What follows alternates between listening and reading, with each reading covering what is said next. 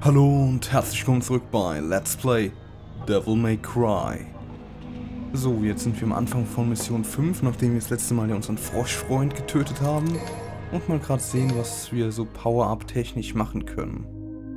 Hm, Red Green vielleicht. Uh, Streak ist RBLS vor. Den benutze ich ja doch schon mal öfter. Also macht das, denke ich, schon Sinn. Äh, was ist ein Kalibur? Äh, wohl eher nicht. Äh, und Roulette Spin ist... Hm, gehe ich für Split. Das macht, denke ich mal, für mich jetzt momentan meisten Sinn. Da kann ich noch irgendwas. 1300, 1300. Nee, kann ich nicht. Devilbringer müssen wir halt auch irgendwann mal noch hochleveln. Aber das für den Moment jetzt ganz gut, würde ich meinen. Und da fangen wir mal an.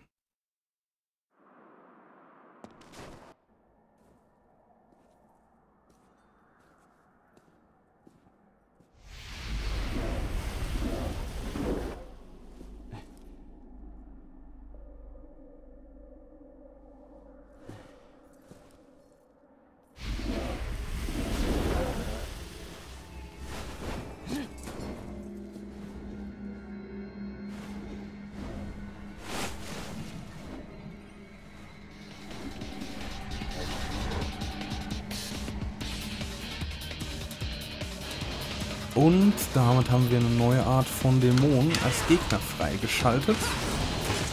Ich glaube, die hießen, wenn ich mich richtig erinnere, Mephisto. Oder war das Faust? Gibt halt noch eine andere Variante von den beiden von ihm.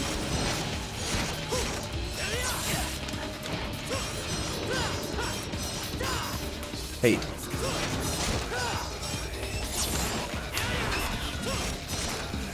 Ah, ich erinnere mich. Gut.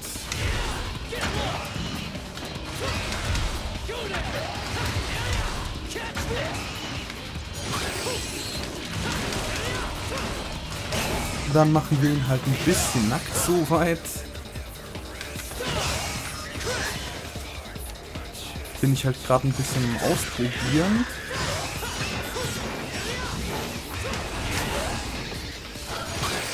So. Und er ist tot. Wie ging das mit Streak jetzt nochmal? RB vor und Dreieck? Automatische Suche? Nee. Äh, Fähigkeitenliste. Red, Green. Ja, Split war es, nicht Streak. RB, LS vor Y.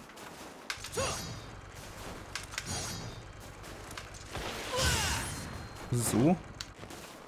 Aber das war doch irgendwie ein ganz anderer Skill. Hatte ich zumindest so ein Gefühl. So. Muss man halt auch erstmal so ein bisschen... Oh, unsere Faust leuchtet. Das ist nämlich ein Skill, den wir jetzt dadurch bekommen haben. Das ist nämlich diese automatische Suche, die da eben gestanden hat. Dass wir halt den Froschtypen besiegt haben. Und ich weiß ja noch, wo es ist. Hier. Und jetzt immer, wenn es irgendwo Gegenstände wie zum Beispiel solche Zusatzmissionen oder anderes gibt, leuchtet unsere Hand ein bisschen auf. So. Geheimmission 3. Gewaltloser Widerstand. Erreichen Sie einen höheren Stilrang, ohne Angriffe zu benutzen. Gut. Da bräuchte ich sowas wie einen Tablehopper für, aber da ich den ja nicht geskillt habe, äh, lassen wir die Mission mal sein. So. Dann hier rein. Oh. Ein paar von unseren Freunden sind hier.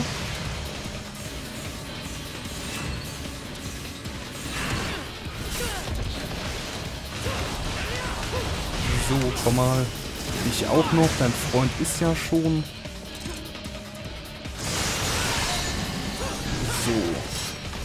Oh, natürlich kommt dann auch noch ein anderer machen echt gar nicht mal wenig Schaden. Und das gefällt mir ehrlicherweise so gar nicht.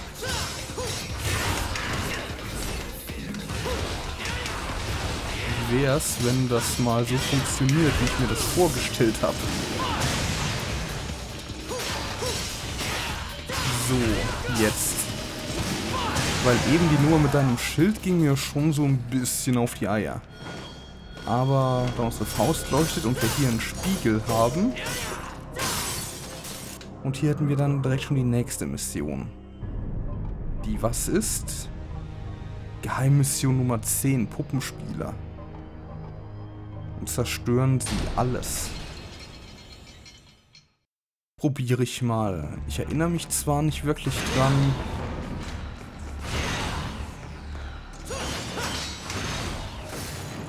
So, also wir haben nur eine gewisse Zeit, um mit den Kreiselklingen dann Dinge kaputt zu hauen. Steht hier was? Nee. Müssen wir halt, denke ich mal, hier einfach durch. Die Frage ist jetzt natürlich auch, werden wir von irgendwelchen Dämonen angegriffen oder... Ah, hier ist dann einer. Und hier hinten ist ein bisschen Health.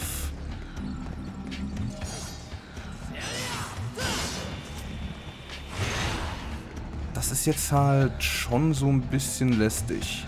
Weil wir müssen das Teil hier halt loswerden. Geht das auch so? Ja, es geht auch so gut. So. Da haben wir auf jeden Fall schon mal zwei von fünfen.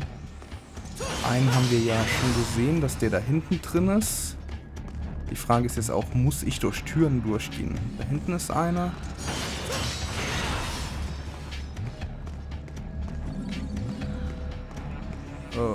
Hier ist der andere, den wir ja schon mal gesehen hatten. So. So. Ah, da ist der. Aber das ist gar kein Problem. Den haben wir jetzt ja hier gesehen. Und für den anderen, da könnte die Zeit vielleicht ein bisschen knapp werden. Vor allem, wenn er zu weit fliegt. Aber ich glaube, er steht ziemlich richtig. Ja, er steht auch ziemlich richtig. So. Und dann haben wir einen blauen Kristall dazu bekommen. War jetzt halt so die Frage. So. Also ein Teil eines blauen Kristalls.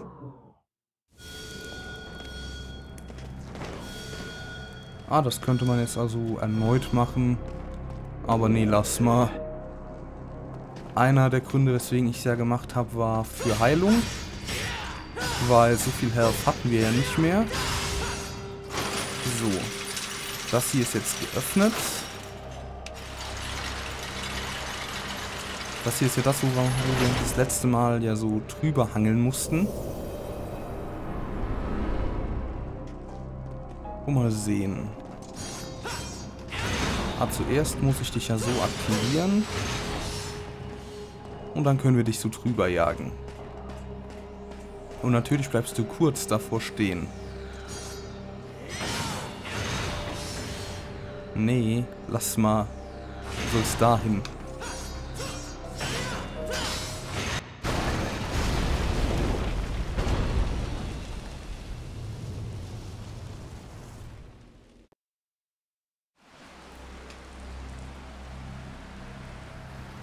Und wir sind jetzt eine Etage tiefer, würde ich meinen. Und da ist auch schon die nächste Fähigkeit, die Neo jetzt bekommen wird.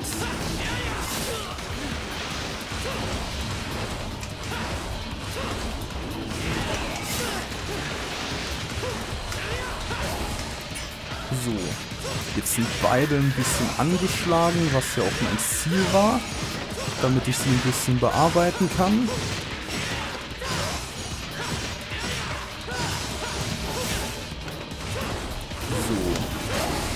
Dann gib mal her und Nacht.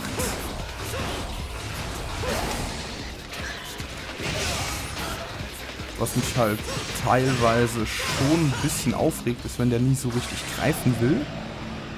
Aber ist ja egal, weil das Teil ist offen. So. Flügel-Talisman. Ein Talisman aus kristallisierten Engelsflügeln. Er kann einigen Gegenständen eine göttliche Reaktion hervorrufen.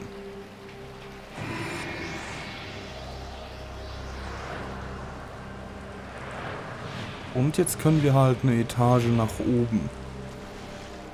Also gibt es hier unten irgendwie sonst noch was. Da kommen wir nicht ran, würde ich meinen. Aber hier die Heilung nehme ich doch gerne mit.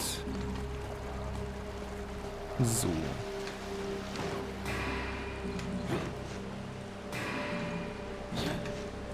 Und dann...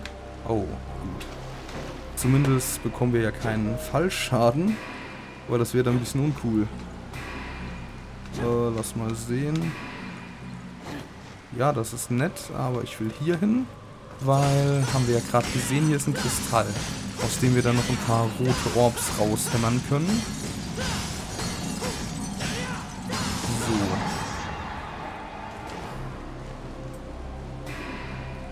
So. So, dann können wir jetzt ja hier rüber, obwohl... Was ist denn hier? Weil wenn man ja schon mal hier ist, dann kann man ja mal nachsehen. So. Das war also hier das. Ich zumindest denke ich mal, dass es hier das war. Ja, war es gut.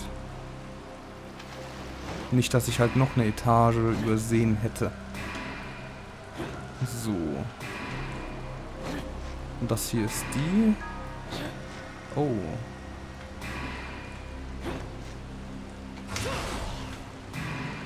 So, das wollte ich.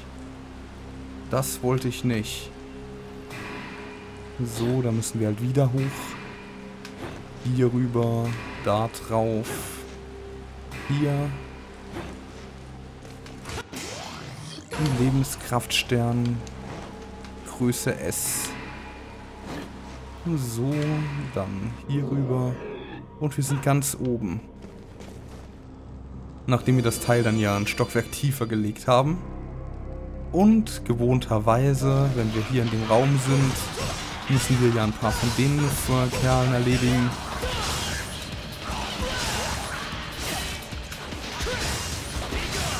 So,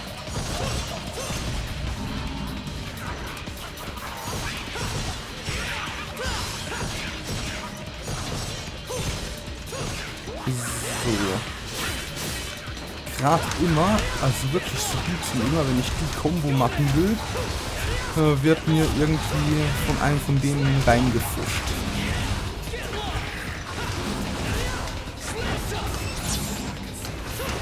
So, gar nicht schlimm, Freunde. Oder vielleicht doch schlimm.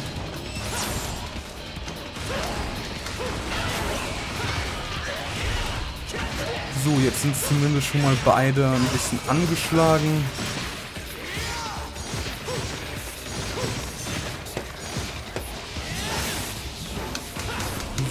So, komm. Zeit, dein Kleid auszuziehen.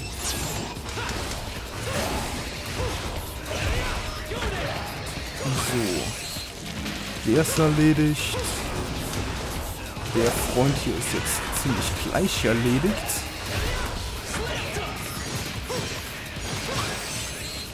So.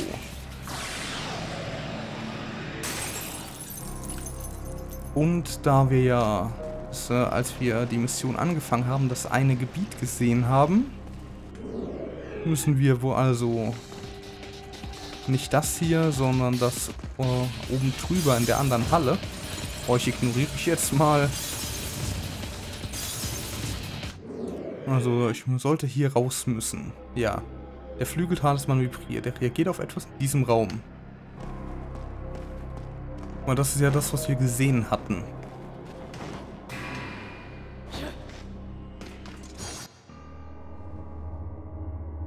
Tja, das Teil hat halt schon so seltsam ausgesehen, dass man nur drauf einschlagen kann.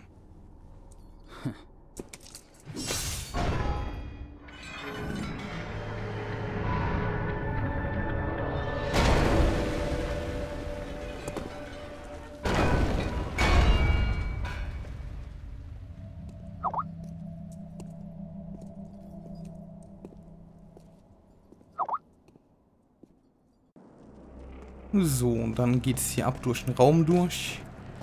Und ein Stockwerk tiefer. Ah, hier ist noch ein Stern. Da haben wir einen zweiten Lebenskraftstern erhalten. Und wir sind im Untergrundlabor angekommen. Was heißt, die Mission müsste eigentlich bald vorüber sein. Weil das Untergrundlabor gehörte, glaube ich, hier nicht dazu.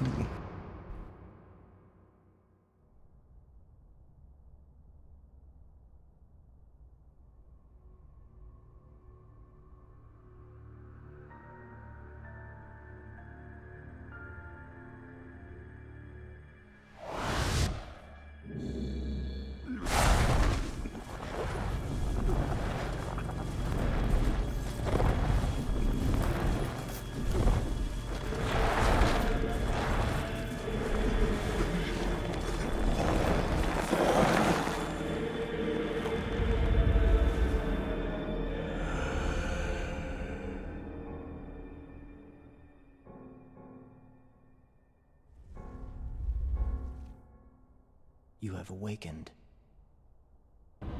Credo. My men are currently in pursuit of Dante. It is only a matter of time before his location is revealed. He came to us. It was fortunate I was able to participate in the Ascension ceremony.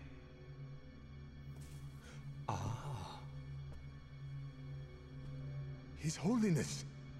Huh. You, look, magnificent.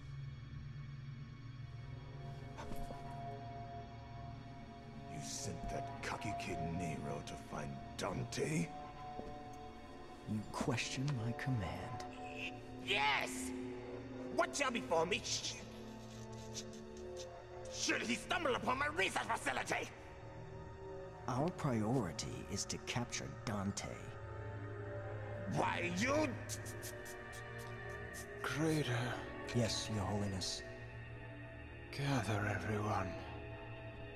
I must ease their minds on this matter. Of course.